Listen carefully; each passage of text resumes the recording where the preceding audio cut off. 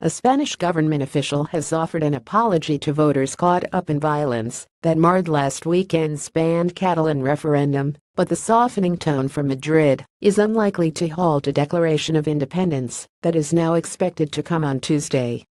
A crucial parliamentary address by Catalan Premier Carles Puigdemont that would potentially have led to a unilateral declaration of independence has been delayed to avoid a Spanish constitutional court ban on Catalan parliamentary activity on Monday.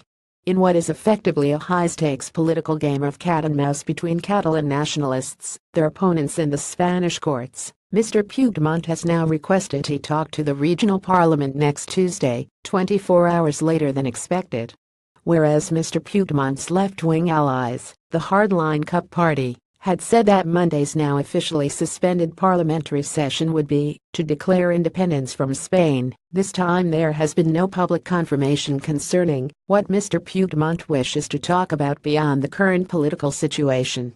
But Spanish state broadcaster TVE reported on Friday that unnamed opposition sources suspected that Mr. Puigdemont would use his parliamentary appearance to make a declaration of independence. Whilst Spanish government's top representative in Catalonia, Enric Millo, has today offered the first official apology to the hundreds of world voters injured in the police charges during Sunday's ban pro-independence referendum. Such gestures of goodwill are doing little to stem the ongoing political turmoil in Spain's richest region, as well as some economic setbacks.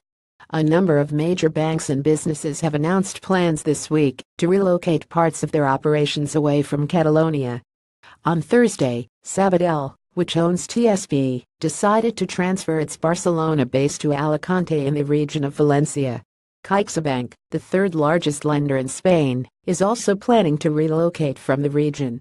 Spanish King Felipe V slams Catalan authorities meanwhile, Catalan newspaper La Vanguardia also reported various representatives of the tourism industry had warned of a drop in hotel reservations in Catalonia and that one top U.S. airline had recommended avoiding traveling to Barcelona between 3 and 13 October.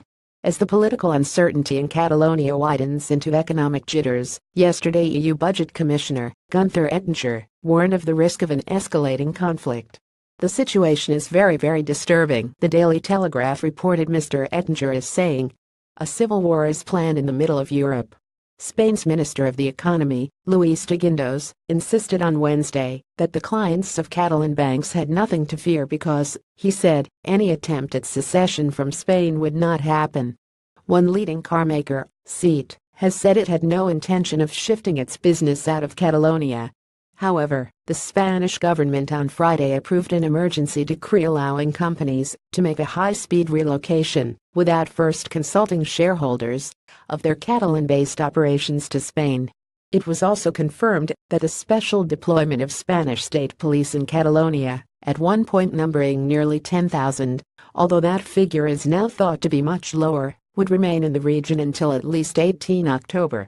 Meanwhile Catalonia's head of the Mossos d'Esquadra police force, José Luis Trapero, was questioned by a Madrid court on suspicion of sedition, a charge for which he could face up to 15 years in prison.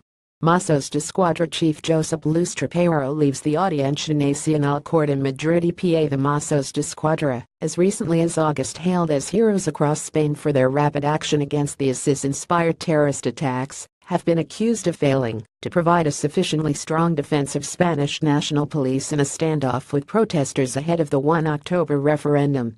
Mr. Trapero was not retained by the Spanish courts, but the fractures in Catalan society over independence continue to widen. Organizers have revealed plans for a massive march on Sunday in Barcelona of Catalans wanting continuing unity with Spain. The march comes exactly a week after the banned referendum saw an overwhelming vote in favor of breaking away officially confirmed today as 90.18% of a 43% total turnout. Reuse content